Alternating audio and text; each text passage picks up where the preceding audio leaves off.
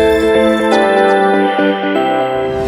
अजनास से लेकर खुड़गांव होते हुए बागदी संगम बाबा काल भैरव की तपस्या स्थली पर चुनरी यात्रा निकाली, जो कि सिंगल पीस में बनी हुई चुनरी को लेकर पंद्रह सौ लोगों ने माँ नर्मदा को अर्पण किया और बाबा काल भैरव का जय जयकाल करते हुए यह यात्रा निकाली गई है।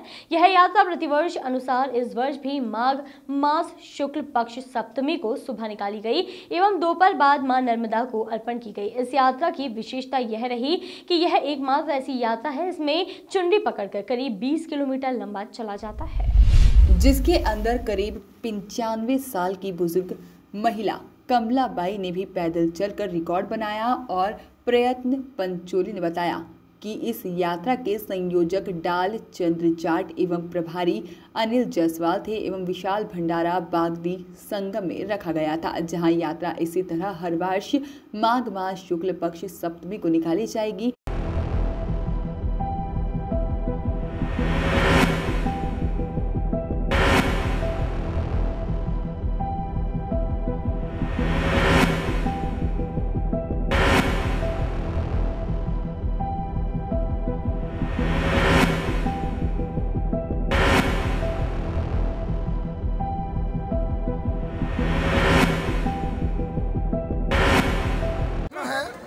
इस क्षेत्र की सब समस्या हल हो, हमारे किसान भाइयों को जो समस्या हैं वो दूर हो, लोगों को रोज़गार मिले और हमारे क्षेत्र की जनता सुखी रहे। इसलिए प्रति वर्षानुसार इस वर्ष भी माघ शुक्ल पक्ष सप्तमी को माँ नर्मदा की दो सौ इक्कीस फीट लंबी चुनरी महाराज जी के सानिध्य में, प्रकाशानंद जी महाराज जी के सानिध्य में, शास्त्री जी के सानिध्य में संपन्न हुई है और मैं चाहता हूँ ये इसी तरह चलती रहे, हम सब मिलकर आते रहें। मैं यहाँ के सभी भक्तों से निवेदन करना चाहूँगा कि प्रतिवर्ष इसी तरह चलती रहेगी।